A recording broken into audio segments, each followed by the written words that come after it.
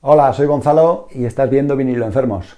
El vídeo de hoy se lo vamos a dedicar al más grande de todos los tiempos, el cantador que consiguió convertir el flamenco en una música universal que se reconociese desde Nueva York hasta Tokio y por supuesto que tenía esa voz que era un regalo de, los dioses y se convirtió en el, en el icono del flamenco, en la cara y la voz más reconocible y además se atrevió a modernizar este, este estilo, este género musical y no fue el primero, pero fue uno de los que empezó a fusionarlo con otras músicas y a incorporar otras formas de cante y otros instrumentos que no eran propios del flamenco. Y antes de empezar a ver todos sus discos, quería dar tres agradecimientos. El primero a mi madre por parirme, que si no, no podría hacer este vídeo, y además por haberme regalado todos los discos de Camarón que tenía antes de estas reediciones de color.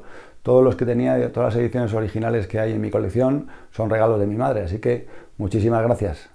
También quiero dar las gracias a Alberto Ferreras del canal Diversión con Vinilos, que ha sido tan amable de colaborar en este vídeo y nos va a hablar un poco de la segunda etapa de Camarón, la que va desde la leyenda del tiempo hasta el final de su carrera.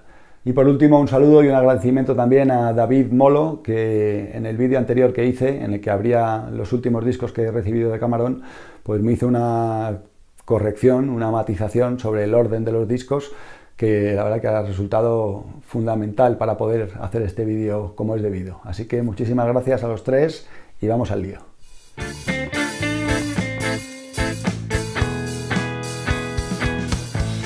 Yo ya había escuchado flamenco antes y había escuchado mucho Camarón de la Isla porque bueno, está muy presente en la cultura española, aparece en la radio y en la televisión, pero digamos que no me había fijado, no me había llamado la atención demasiado hasta que en el año 99 salió publicado este concierto de París en el año 1987 junto a Tomatito a la guitarra.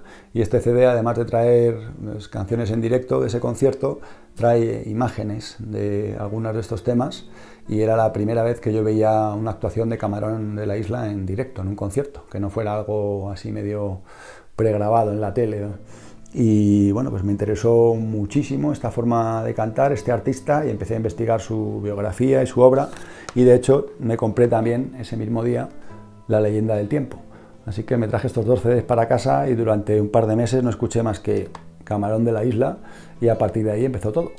Hay un montón de vídeos y de documentales que hablan sobre la vida de Camarón. El más reciente me lo recomendó Roger del canal Vinyl Effect, muchísimas gracias. Y es uno que salió en Netflix en el año 2018 y ya está en YouTube, así que os dejaré por aquí abajo el enlace para que podáis verlo. Es un documental muy largo pero muy completo sobre la vida de Camarón. Yo me voy a centrar en su discografía y he querido dividirla en dos partes. Desde el principio hasta el año 77 y luego desde el año 79, cuando sacó La leyenda del tiempo, hasta el final de su, de su vida y de su obra.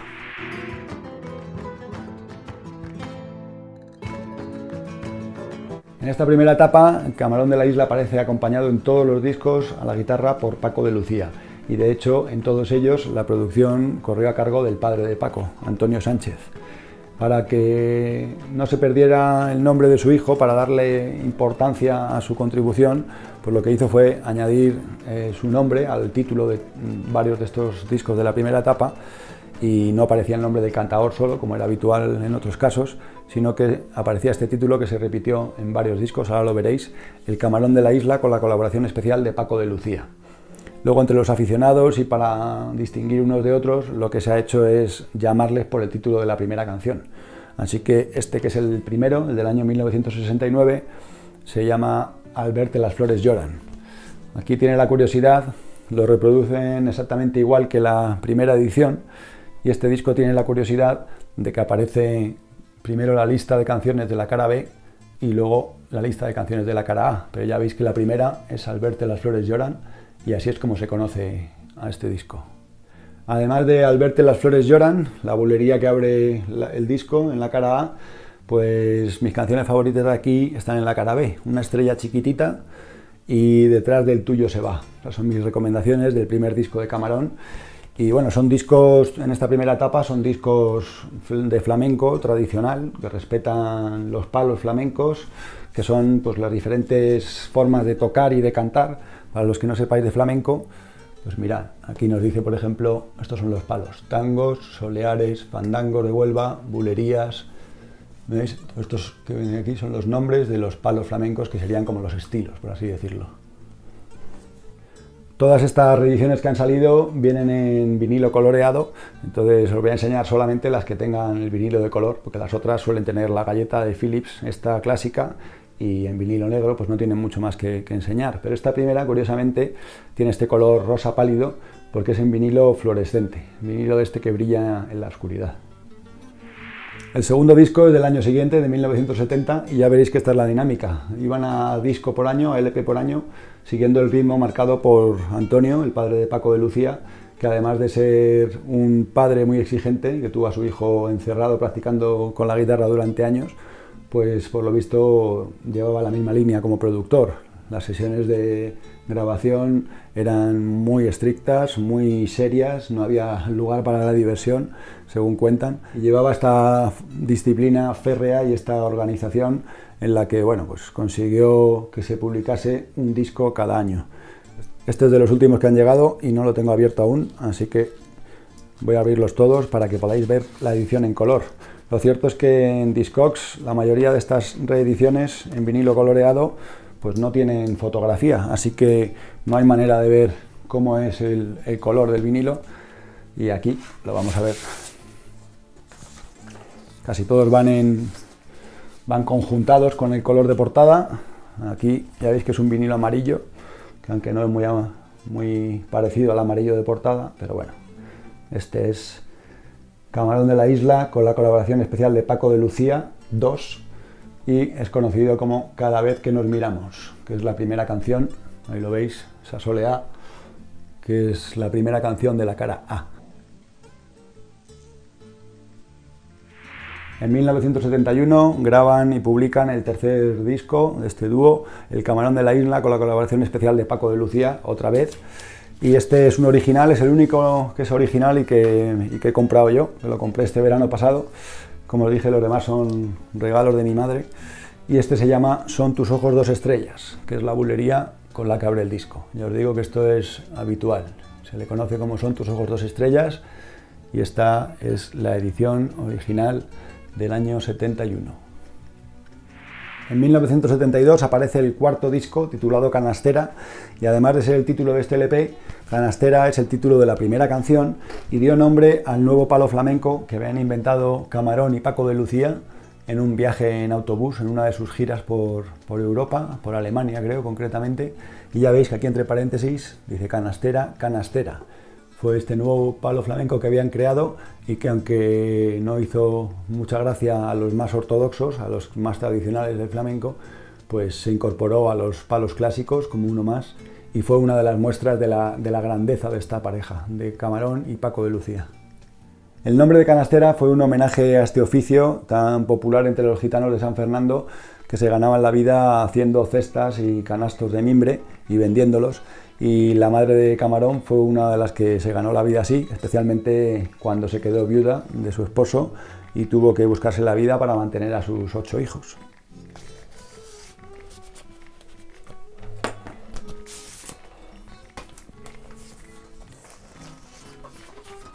Vinilo coloreado también y ya veis que es un color naranja pálido que va a juego con el color de la portada. Por cierto que todas estas reediciones traen la funda con plástico antiestático ya dentro del disco, así que no hay que gastarse el dinerito en fundas extras. Los dos siguientes discos ya veis que tienen la portada muy parecida, es exactamente la misma foto, esta con el marco cuadrado y esta con el marco redondo, son de 1973 y 1974. Este sigue teniendo el título genérico, aunque ya en Canastera había aparecido el título en la portada, pero aquí vuelve a aparecer el título de Camarón de la Isla con la colaboración especial de Paco de Lucía, con lo cual se le llama a este disco Caminito de Totana, que es la primera canción, el taranto, que aparece en la cara. Y el siguiente, Soy Caminante, sí que tenía ya el título en la portada y habría también con la canción El Caminante. Este es el original del año 74, así que no lo voy a sacar porque es en vinilo negro, pero este es una de las reediciones modernas que también debe tener un color que vaya a juego con la portada, así que abrimos este disco también.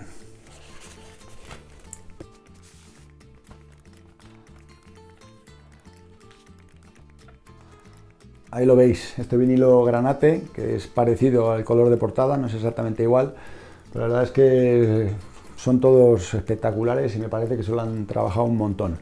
Conseguido hacer unas reediciones pues muy bonitas, como merecía Camarón. Si os fijáis, aparece acreditado Antonio Sánchez como autor de las canciones. Y también aparece Ramón de Algeciras, que apareció ya desde el disco Canastera como segunda guitarra. Esto, bueno, pues eh, supuso luego un pequeño malentendido al final de la vida de Camarón, en la que se dio cuenta de que no tenía los derechos de sus canciones y que ni siquiera aparecía como autor de las canciones. ¿no? Realmente él no hacía las letras, sino que adaptaba un poco las letras que le traían, pero el caso es que fue un chasco que se llevó al final de su vida, el darse cuenta de que, de que su familia no iba a heredar los derechos de esas canciones, ¿no? por así decirlo. En 1975 aparece Arte y Majestad. Ya desde el disco anterior se publicaría siempre en las portadas con el título del disco y no solamente con el título este recurrente de Camarón de la Isla con la colaboración especial de Paco de Lucía. Sigue apareciendo Antonio Sánchez como autor de todas las canciones y también Ramón de Algeciras como segunda guitarra en algunas de las canciones. Y yo que no soy un entendido del flamenco, ni mucho menos, pues normalmente suelo tirar más hacia las bulerías. Son las canciones que más me suelen gustar.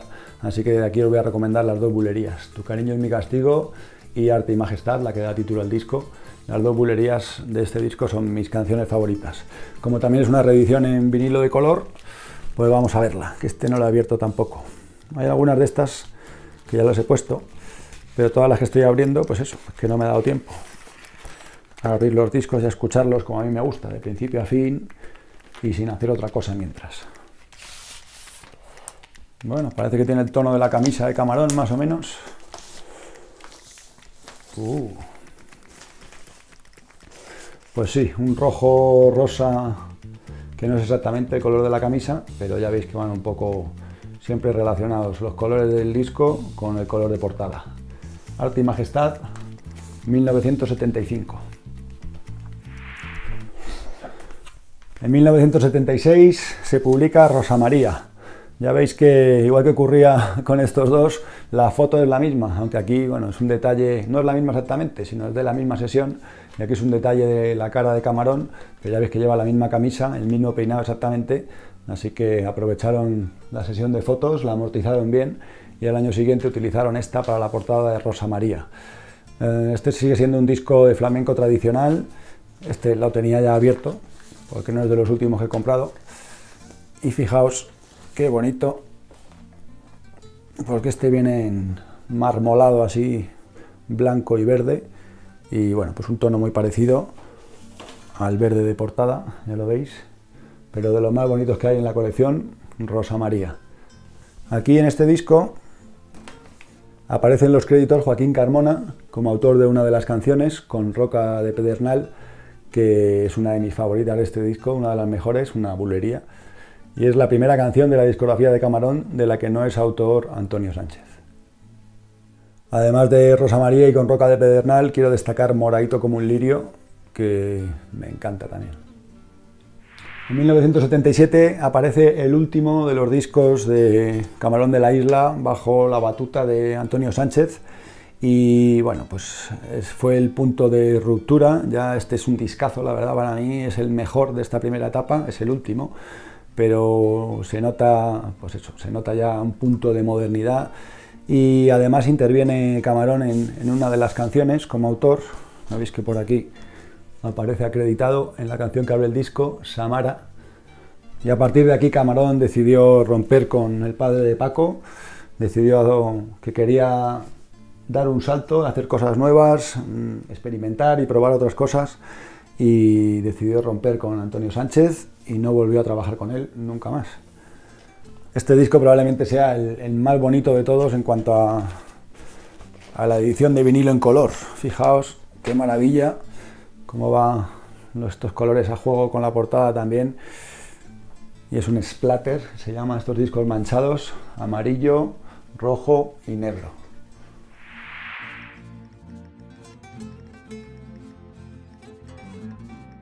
A partir de 1978, que fue un año en el que no publicó nada, Camarón de la Isla decidió dar un cambio a su carrera y empezar a hacer lo que le pedía el cuerpo y no le dejaba el padre de Paco de Lucía, que era evolucionar e intentar conocer nuevas músicas, intentar darle un toque moderno al flamenco y sobre todo crecer como músico y no ponerse límites. Esto no gustaba nada a la comunidad flamenca, sobre todo a los más tradicionales, que eran casi todos, y uno de los que le dijo que no le parecía bien esto era Paco de Lucía. Así pues, Camarón rompió con el padre de Paco como productor y, no volvió a trabajar durante unos años con Paco de Lucía, aunque como digo, pues no fue un enfado, sino una separación temporal. Y con esta ruptura empezó a gestarse lo que sería la gran revolución en el flamenco y en la carrera de Camarón, que fue el disco La leyenda del tiempo de 1979. Este disco rompedor y revolucionario merece un vídeo aparte y de hecho Alberto de Diversión con Vinilos tiene un vídeo dedicado a la leyenda del tiempo, así que os voy a dejar el enlace en la descripción y por aquí arriba para que podáis disfrutar de este especial que él hizo sobre la leyenda del tiempo porque me pareció espectacular. Enhorabuena Alberto. Y os voy a dejar con él para que nos introduzca esta segunda etapa de la discografía de Camarón y nos hable un poco de sus discos favoritos y después os enseñaré todos estos discos en vinilo, desde la leyenda del tiempo hasta el potro de rabia y miel. ¿Qué tal? Un saludo a Gonzalo y a todos los seguidores de Vinilo Enfermos. Bueno, eh, os voy a hablar un poco de la discografía de Camarón a partir de, la leyenda del tiempo. La leyenda del tiempo aparece como una especie de eje central en la discografía de Camarón. Se sitúa en el medio de su producción tanto cronológicamente como en lo que supone a su estilo, eh, pasando de un flamenco luminoso y fresco a un flamenco más oscuro, más emocional, con producciones más complejas, abriendo la entrada a instrumentaciones más atrevidas e influencias de otros estilos como el rock o el jazz. Desde luego, el detonante de este cambio fue precisamente eh, este extraordinario disco, La leyenda del tiempo. Como ha comentado Gonzalo, es un disco verdaderamente revolucionario y que se ha convertido en un disco de culto, aunque la verdad es que fue todo un fracaso de ventas en su momento. Eh, mucha gente ha comparado la leyenda del tiempo con el Sgt. Peppers del flamenco, eh, por lo que supuso, no solo para la discografía y la carrera posterior de Camarón, sino por la influencia en todo el flamenco posterior. En este disco Camarón deja temporalmente a Paco Lucía y encomienda las guitarras a Tomatito y a Raimundo Amador eh, y la extraordinaria producción de Ricardo Pachón y la alternancia entre canciones puristas y temas con increíbles arreglos rockeros y jazzísticos hacen de este disco la verdad es que todo un hito en la historia de la música y claro por supuesto en la historia del flamenco. Después de la leyenda del tiempo había que volver a hacer flamenco puro. Eh, la verdad es que Camarón eh, tuvo sus dudas y tuvo sus momentos de, decir por dónde me estoy metiendo, eh, pero bueno, la verdad es que después de La leyenda del tiempo nada volvió a ser lo mismo. En los siguientes discos, Camarón ya alterna entre Paco, Lucía y Tomatito como guitarristas principales, pero en todos ellos incorpora arreglos e instrumentaciones que aportan sonoridades y texturas innovadoras. Además, estos discos de su segunda etapa fueron los que incrementaron de, manera espectacular sus ventas y cimentaron la leyenda del propio artista, la leyenda de Camarón. Así, después de, La leyenda del tiempo, tenemos seis discos que son como el agua, Calle Real, Viviré, Te lo dice Camarón, Soy gitano y el último que fue Potro de rabia y miel. Eh, bueno, ahora Gonzalo os enseñará los discos, ya que lamentablemente yo los tengo en CD y es mejor que Gonzalo os lo enseñe en, vinilo.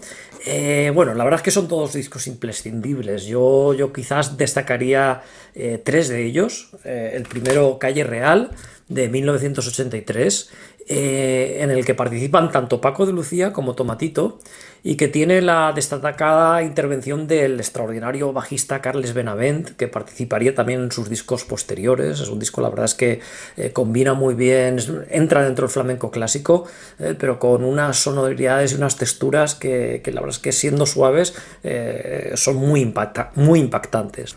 Otro de los discos que yo recomendaría de su segunda etapa, de esta etapa post-leyenda, es Soy Gitano, de 1989, otro disco excepcional y otro disco también transgresor, pero ahora con la intervención de una orquesta, de la Royal Philharmonic Orchestra. La verdad es que arreglos orquestales muy sutiles dentro de, de lo que son las piezas de flamenco, grabado en el estudio Abbey Road de Londres, una producción grandiosa y bueno, y como curiosidad, el disco más vendido del flamenco y por supuesto el disco más vendido de Camarón. Y el último de los tres eh, destacados de esta segunda etapa eh, es su último disco, es Potro de Rabia y Miel, publicado en 1992, publicado ya cuando Camarón había muerto, de nuevo con Paco de Lucía eh, y bueno, y con Camarón seriamente enfermo cuando, ya había, cuando estaba grabando este disco. Es un disco yo creo que es realmente brillante, en el que, bueno, el que Camarón lo da todo, pese a sus escasas fuerzas. En ese sentido me recuerda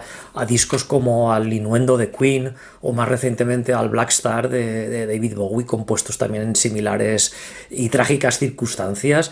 Y bueno, la verdad es que también un, disco desgarrado, un disco emocional, un disco potente y bueno, un broche de oro a la corta carrera de Camarón. Muchísimas gracias Alberto por tus recomendaciones y por compartir tu sabiduría. Y ya os digo que echarle un vistazo al vídeo que hizo sobre la leyenda del tiempo porque merece muchísimo la pena. Vamos a empezar a ver todas estas, todos estos discos, empezando por el de 1979, el primero de esta segunda etapa. Y bueno, estos de esta etapa tenía muchos de los originales, con lo cual no son en color la mayoría, pero este sí, este no lo tenía, el original porque estaba buscando durante mucho tiempo uno que estuviera en perfecto estado, cosa que no conseguí, y al final me compré esta reedición y no me arrepiento, la verdad, porque suena divinamente y además es espectacular, aunque no tiene mucha relación con el color de portada, que ya veis que son tonos grises, tanto por delante como por detrás, y bueno, pues aún así me parece una maravilla este marmolado rosa y blanco. De este disco no se puede destacar una canción. La leyenda del tiempo, la que da título al álbum, es una maravilla, pero bueno, es un disco que no me voy a enrollar mucho, pero contiene letras de algunas canciones de Federico García Lorca, la colaboración de Kiko Veneno, entre otros, la guitarra de Tomatito, porque Paco de Lucía, como he comentado, se borró de este proyecto. También acompañado por la segunda guitarra de Raimundo Amador y otros muchos músicos, porque es que este disco tiene batería, tiene bajo, tiene congas, tiene muchos instrumentos que no eran típicos del flamenco, no eran tradicionales y de ahí que en principio pues no le gustase a casi nadie. Para mí, el disco con el que hay que empezar en general a descubrir a Camarón, la discografía de Camarón, sería este. Si no lo habéis escuchado nunca y pensáis que no os va a gustar, sobre todo si pensáis que no os va a gustar, recomiendo empezar por este porque la primera época pues te tiene que gustar el flamenco para que te entre bien, ¿no? Después de la leyenda del tiempo, pues Camarón pasó por una fase de dudas y no estaba muy bien de ánimo porque había recibido críticas durísimas. De hecho, hubo mucha gente que devolvió el disco a las tiendas diciendo que eso no era flamenco, que era un engaño. Entonces lo escuchaban en casa y por lo visto hubo cientos de devoluciones del disco a las tiendas de discos de gente que iba indignada diciendo que, era esto, que, era una aberración, que eso no era flamenco y no les gustó nada. ¿no? Entonces, bueno, pues no fue la mejor época para Camarón y de hecho se cree que fue en esta época en la que empezó a darle duro al tema de, las drogas y bueno, donde se enganchó de todo, ¿no?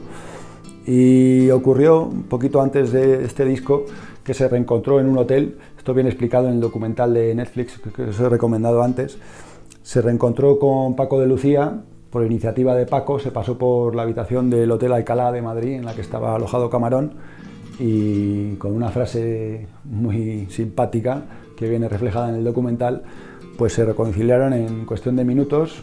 Esta falta de comunicación que habían tenido durante unos años, pues se convirtió en vamos a grabar otro disco. Entonces, bueno, Camarón ya estaba trabajando con Tomatito, ya era su guitarrista para los conciertos y su guitarrista de estudio pero durante los tres siguientes discos, este y los otros dos que vienen ahora, trabajó Camarón con los dos guitarristas, con Tomatito y con Paco de Lucía. Este es como El agua de 1981, que bueno, es una de las mejores canciones de la discografía de Camarón para mí, como El agua, sin duda. Y bueno, este es de los originales, no os voy a enseñar el vinilo, pero aquí viene una de mis canciones favoritas, sin duda alguna, y es Gitana Te Quiero. Además de Como el Agua, que es una obra maestra, Gitana Te Quiero es una canción de amor que a mí me encanta y que estaba dedicada a la chispa, a su mujer, y que yo le canto mucho a, a mi Conchi. Veis en los créditos que aparece Pepe de Lucía, el hermano de Paco, como autor de muchas de las canciones. Aparece José Monje, el nombre auténtico de Camarón, como, también como letrista. Lo que hacía normalmente no era componer letras, sino arreglar las letras que le traían. Y aquí ya veis que está José Monje con Antonio Humanes. Antonio Humanes se convertiría en prácticamente el letrista de, cabecera de, de Camarón y bueno, fue el autor de muchas de las canciones de esta segunda etapa de Camarón de la Isla. Aparece también Ricardo Pachón como productor, que fue quien produjo La leyenda del tiempo y quien se encargaría de, producir prácticamente todos los discos de esta segunda etapa también, hasta el final de su carrera, menos el último. En 1983, también con Tomatito y con Paco de Lucía, aparece el LP Calle Real, del cual tengo este single que compré hace poquito, Yo vivo enamorado, que es mi canción favorita de este LP. Este también es un original y bueno, pues aquí el ritmo ya empezaba a ser un poco diferente, ¿no? Ya se permitían más licencias, las sesiones de grabación no eran con disciplina militar como eran hasta entonces, sino que pues, se permitían más la juerga y el estar dándole vueltas durante días a una misma canción, eh, se permitían improvisar y hacer arreglos de última hora. Y la verdad es que para mí estos discos son de lo mejorcito de la obra de Camarón, estos tres, tanto como El Agua, Calle Real y Viviré, que es el siguiente, pues bueno, una maravilla los tres. Además de Yo Vivo Enamorado, os recomiendo también Las Bulerías de la Perla, que son una maravilla, y aquí aparecen acreditados algunos de los músicos que ya habían venido trabajando con él desde La Leyenda del Tiempo, Rubén Dantas y Raimundo Amador. Un año más tarde, en 1984, aparece Viviré, el tercero de los discos de Camarón con Paco de Lucía y Tomatito, los tres juntos, y uno de los mejores para mucha gente, su favorito. La verdad es que la canción Viviré es una maravilla, solamente esa canción pues lo dice todo y es un poco, pues es un, presagio, ¿no? Es una canción que parece que, que hubiera compuesto Camarón cuando ya estaba enfermo, pero no, es una canción compuesta por Pepe de Lucía, ¿lo veis? y aparece también por aquí Antonio Humanes ya como autor de tres canciones y cada vez sería más, más importante la presencia de Antonio Humanes en la, en la, obra de Camarón, aunque como siempre Camarón lo que hacía era coger las letras de Antonio Humanes y cambiar alguna palabra, alguna cosilla, pero bueno, no le metían como coautor, con lo cual de ahí vino el problema que tuvo con los derechos al final de su carrera.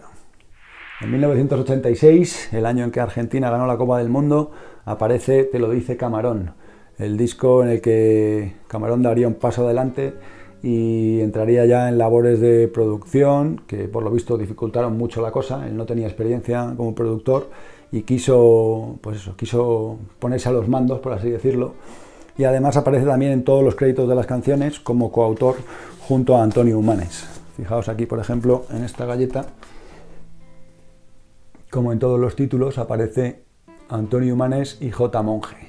José Monge como autor también de las letras.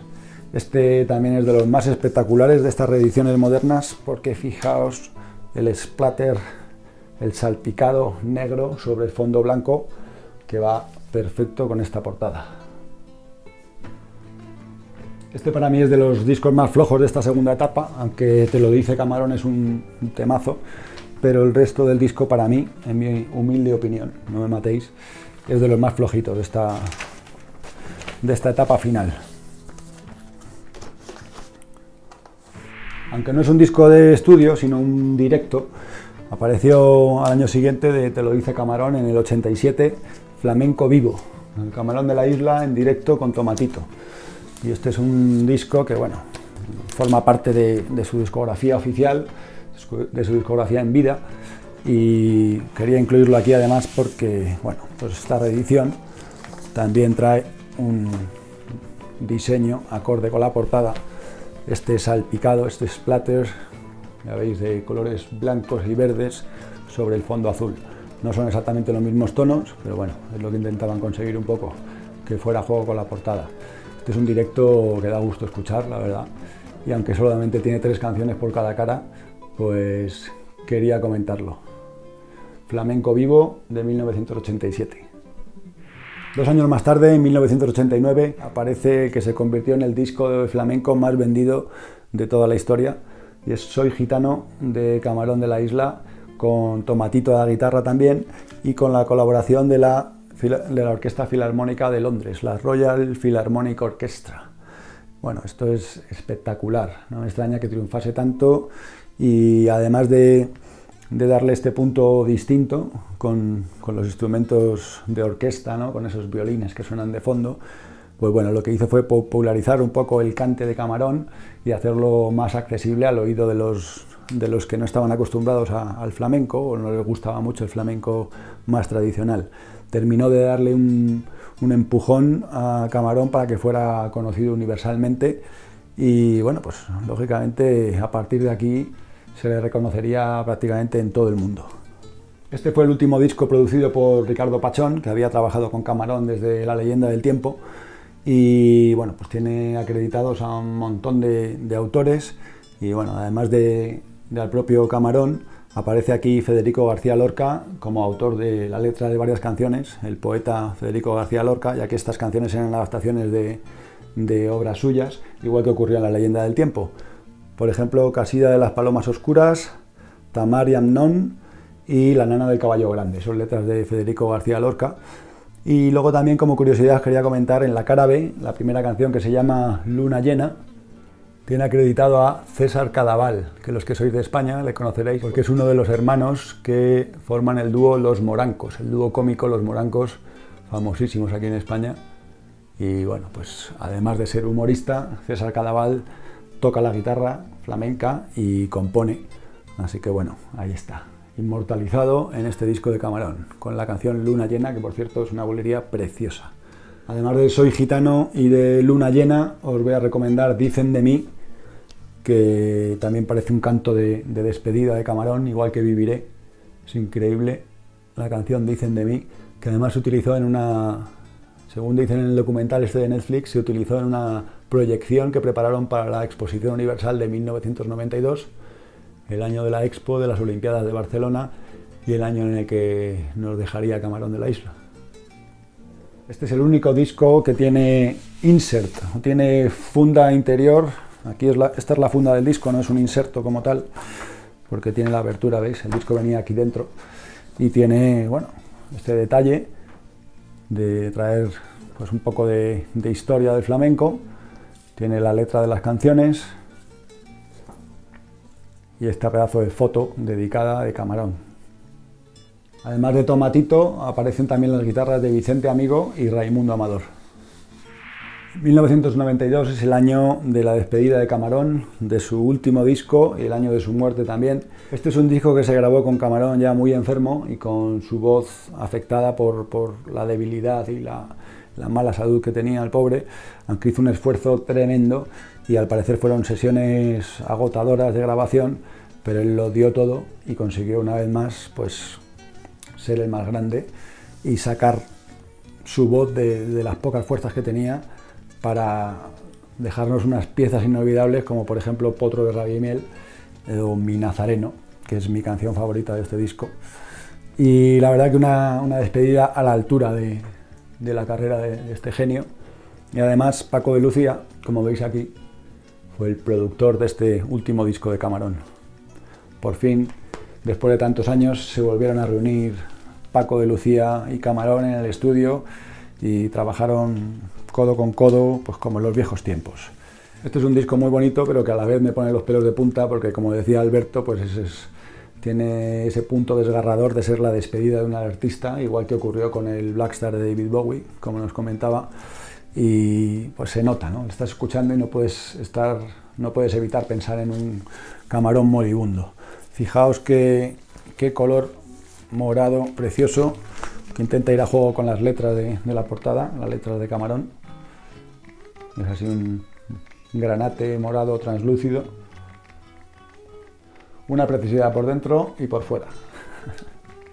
Antes de despedirme os quería enseñar estos dos recopilatorios. Este se le conoce como disco de oro y es de la primera época de Camarón, aunque no recoge toda la primera etapa, pero sí los primeros discos. Y este que se llama Autorretrato es un discazo. Aquí recoge desde 1970 hasta 1990, nos dice. Esto es una pegatina que tengo yo aquí guardada, perdonad. Esta es la portada de Camarón, dice versiones y mezclas nuevas. Es decir, versiones de temas antiguos y mezclas diferentes. Ya veis que tiene desde las 12 acaban de dar, una de sus, primeros, de sus primeras canciones, Martinete, con el sonido del yunque del fondo, hasta las últimas, Nana de Caballo Grande, por ejemplo, del disco Soy Gitano, aparece aquí también. Pues nada más, espero que hayáis disfrutado el ver toda la discografía de estudio entera de Camarón. Creo que no hay ningún vídeo en internet que, los muestre todos juntos y para mí es un, pues un orgullo y una delicia el tenerlos todos aquí y poder escucharlos como me gusta a mí. Decir, venga, hoy voy a ponerme dos antiguos, hoy ponerte dos discos seguidos, ir analizando un poco su, su evolución. Está muy bien escuchar desde el primero hasta el último, como a la gente que le gustan las sagas de películas, cosa que yo no hago, de que se ponen películas de estas que tienen parte 1, parte 2, parte 3, pues a mí me encanta lo de ponerme los discos en orden cronológico, además de tenerlos, escucharlos, lógicamente. Y a los que no habéis escuchado nunca a Camarón, pues os diré que es como si no te gusta el rock, pero mm, te digo, oye, a Deep Purple los tienes que escuchar, o a Black Sabbath, hay que escucharlos, por lo menos intentarlo. Pues lo mismo os recomiendo con Camarón de la Isla, es el más grande de todos los tiempos. Paco de Lucía está considerado como el guitarrista más grande también de flamenco, así que bueno, son un dúo increíble que hicieron historia y que siguen haciendo historia porque sus discos se siguen vendiendo y siguen influyendo a todos los artistas de flamenco y de otros estilos. Luego Paco de Lucía saldría un poco también del flamenco más tradicional y empezaría a evolucionar y a experimentar, a colaborar con guitarristas que venían de otros géneros como John McLaughlin o Aldi Meola y acabaría formando su famoso trío o el sexteto de Paco de Lucía.